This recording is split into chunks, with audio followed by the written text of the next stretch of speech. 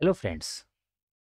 So this was our previous code in which we have uh, blink led using this gpio write pin function. So uh, we, this function will write 0 then it will this delay function will generate some delay then it will write high then again it will generate some delay. So basically it will turn on and turn off the led and here is the output right? Now i will do the same thing but using different function. So today we will learn how to use api okay existing api how to call them okay for our required functionality. So this is our main program right? Now uh, you can access the drivers from this folder. In driver folder is there in driver stm f1xx hl driver folder is there and in this uh, scr source folder is there so here you can see we have this gpio driver gpio.c you can open this and here you can see all the functions are there right?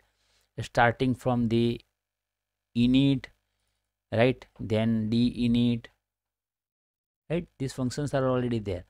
Then read pin. So if i want to interface switch or if i want to read sensor data then i can use this function right same way write pin function this function we have already used in our previous video. And now i want to blink the led so from this driver uh, I, I found that this function can be used right? Toggle pin function is there.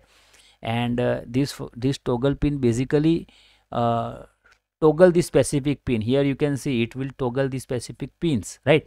So i can use this function. So i'm copying this function because this function is already defined from the main. I can simply call the call this.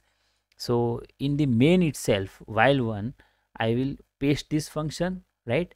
And here uh, two arguments are there. First is on which port you want this toggle functionality. So GPIO A. And second argument is on which pin you want this functionality. So GPIO underscore pin underscore 0 because our LED is there on pin 0. I have already defined this pin 0 as GPI output and now no need to use this write 0 and write 1. Okay. Anyway, delay is required because uh, if we will not write this delay then it will continuously toggle this pin and uh, we cannot observe this. So let us put a small delay of uh, uh 50 millisecond right and now our previous code was a four line and now this code is of two line. And using two line also we can uh, uh, you know generate the same output right? So this program will basically toggle these pins gpio a pin 0 so let us release this code once again right? And it will modify our hex file right? And uh, now i will load this. So i will stop this and I will load our uh, build newly build hex file. You can observe this from the timing. This is latest one. And now I am loaded this uh, I am loading this hex file in my uh, this uh, microcontroller. And now I will run this code. And you can see LED is blinking with interval of uh, 50 millisecond. Now let us increase this delay 700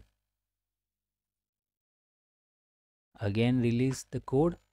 It will modify the hex file. Stop this and since hex file path is same so i can simply run it rerun it and you can see now delay is increased.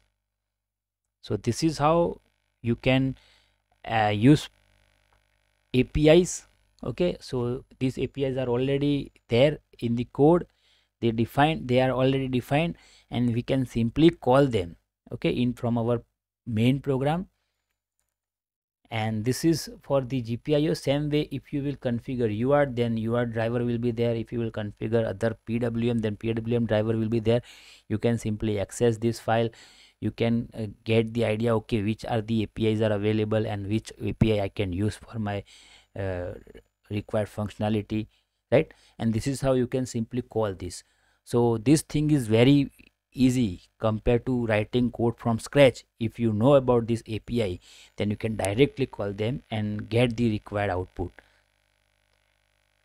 So in next video we will see read pin function. So we will use some switches to read the signal from the output hardware right? Means from the switch or such type of devices you can also consider the sensor. Anyway we can use sensor also. So using read pin we can read all these type of digital values. Okay and we will uh, do is th this in uh, our next few videos.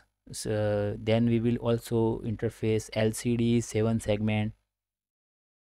So this is what for today's video.